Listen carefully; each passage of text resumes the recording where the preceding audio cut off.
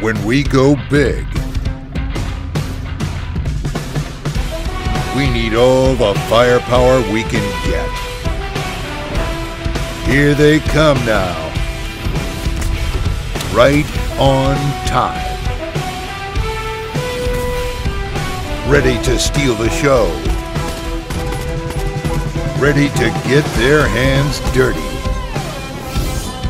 Ready for anything. With new operators joining the ranks every day, this is what a global phenomenon looks like.